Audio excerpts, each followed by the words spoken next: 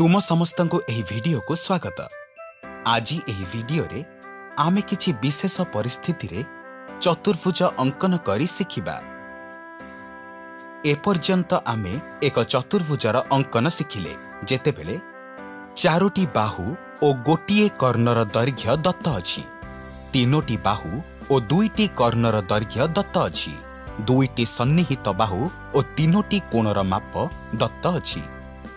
ତିନୋଟି ବାହୁ ଓ ସେଗୁଡ଼ିକ ମଧ୍ୟରେ ଥିବା ଦୁଇଟି କୋଣର ମାପ ଦତ୍ତ ଅଛି। ତୁମେ ପୂର୍ବ ଭିଡିଓରୁ ଜାଣିଛ ଯେ ଏକ ଚତୁର୍ଭୁଜର ଅଙ୍କନ ପାଇଁ ପାଞ୍ଚଟି ମାପର ଆବଶ୍ୟକ ହୋଇଥାଏ। କିନ୍ତୁ ଆମେ କ'ଣ କିଛି ବିଶେଷ ପରିସ୍ଥିତିରେ ପାଞ୍ଚରୁ କମ୍ ମାପରେ ଚତୁର୍ଭୁଜର ଅଙ୍କନ କରିପାରିବା?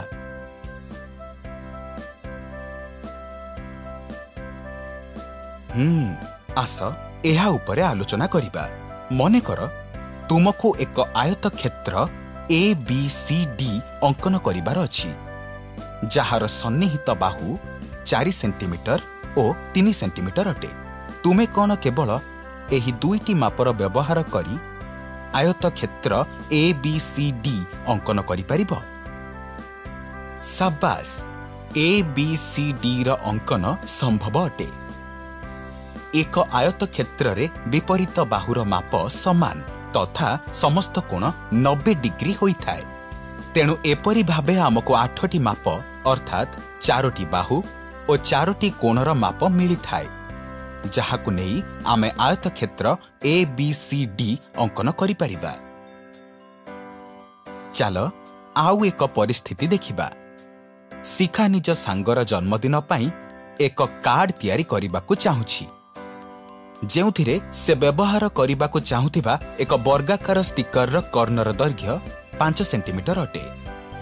କ'ଣ ତୁମେ ଷ୍ଟିକର ତିଆରି କରିବାରେ ଶିଖାର ସାହାଯ୍ୟ କରିପାରିବ? ଶିଖାକୁ ଏପରି ଏକ ବର୍ଗକ୍ଷେତ୍ର ଦରକାର ଯାହାର କର୍ଣ୍ଣର ଦୈର୍ଘ୍ୟ ପାଞ୍ଚ ସେଣ୍ଟିମିଟର ହେଇଥିବ। ତେବେ ଆସ ଗୋଟିଏ ବର୍ଗକ୍ଷେତ୍ରର କର୍ଣ୍ଣର ବିଶେଷତାକୁ ଏପରି ଭାବେ ଲେଖିବା। ବର୍ଗକ୍ଷେତ୍ରରେ ଦୁଇଟି ଯାକ କର୍ଣ୍ଣର ମାପ ସମାନ ହୋଇଥାଏ। ବର୍ଗକ୍ଷେତ୍ରର କର୍ଣ୍ଣ ପରସ୍ପରକୁ ସମକୋଣରେ ସମଦ୍ୱିଖଣ୍ଡ କରନ୍ତି। ମନେକର ଏ ବି ସି ଡି ଏକ ବର୍ଗକ୍ଷେତ୍ର ଅଟେ ଓ କର୍ଣ୍ଣ ଏ ସି ସମାନ ପାଞ୍ଚ ସେଣ୍ଟିମିଟର। ଆମେ ଜାଣିଛେ ଯେ ବର୍ଗକ୍ଷେତ୍ରର କର୍ଣ୍ଣଦ୍ୱୟ ସମାନ ହୋଇଥାଏ। ତେଣୁ କର୍ଣ୍ଣ A C O B D ସମାନ ଦୈର୍ଘ୍ୟର ହେବ ଏବଂ ବର୍ଗକ୍ଷେତ୍ରର କର୍ଣ୍ଣଗୁଡ଼ିକ ପରସ୍ପରକୁ ଲମ୍ବ ଭାବେ ସମଦ୍ୱିଖଣ୍ଡ କରେ। ଅର୍ଥାତ୍ ଏହି ସମସ୍ତ କୋଣ ନବେ ଡିଗ୍ରୀ ସହ ସମାନ ହେବ। କର୍ଣ୍ଣ ଏ ସି ସମାନ ପାଞ୍ଚ ସେଣ୍ଟିମିଟର ଅଙ୍କନ କର। ଯେହେତୁ କର୍ଣ୍ଣଦ୍ୱୟ ପରସ୍ପରକୁ ସମକୋଣରେ ସମଦ୍ୱିଖଣ୍ଡ କରେ ସେଥିପାଇଁ ଲମ୍ବ ଭାବେ ଏ ସିର ଏକ ସମଦ୍ୱିଖଣ୍ଡକ ଅଙ୍କନ କର ଯାହା ତାକୁ ଓ ବିନ୍ଦୁରେ ଛେଦ କରିବ।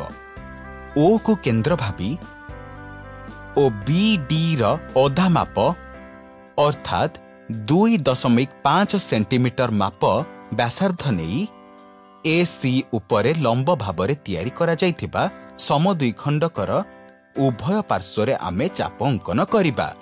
ଯାହା ଏହାକୁ ବି ଏବଂ ଡି ବିନ୍ଦୁରେ ଛେଦ କରେ ଏହିପରି ଆମେ କର୍ଣ୍ଣ ବି ଡି ସମାନ ପାଞ୍ଚ ସେଣ୍ଟିମିଟର ବୋଲି ପାଇଲେ ବିନ୍ଦୁ ଏ ବି ବିନ୍ଦୁ ବି ସି ବିନ୍ଦୁ ସି ଡି ବିନ୍ଦୁ ଡି ଏକୁ ପରସ୍ପର ସହ ଯୋଡ଼ି ଦିଅ ଏହିପରି ଆମକୁ ବର୍ଗକ୍ଷେତ୍ର ଏ ବି ସି ଡି ମିଳିଥାଏ ଯାହାର ପ୍ରମାଣ ତୁମେ ସ୍କେଲ ଓ ପ୍ରୋଟେକ୍ଟର ସାହାଯ୍ୟରେ କରିପାରିବ। ତୁମକୁ ଏହାର ସମସ୍ତ ବାହୁର ମାପ ସମାନ ଓ ସମସ୍ତ କୋଣ ନବେ ଡିଗ୍ରୀ ମିଳିବ। ତେଣୁ ଏପରି ଭାବେ ଆମେ ପାଞ୍ଚରୁ କମ୍ ମାପ ନେଇ ମଧ୍ୟ ଅନେକ ଥର ଏକ ଚତୁର୍ଭୁଜ ଅଙ୍କନ କରିପାରିବା। ଆଜି ଏହି ଭିଡିଓରେ ଆମେ କିଛି ବିଶେଷ ପରିସ୍ଥିତିରେ ଚତୁର୍ଭୁଜର ଅଙ୍କନ କରି ଶିଖିଲେ। ପରବର୍ତ୍ତୀ ଭିଡିଓରେ ଆମେ ଏହା ଉପରେ ଆଧାରିତ କିଛି ଉଦାହରଣ ଦେଖିବା।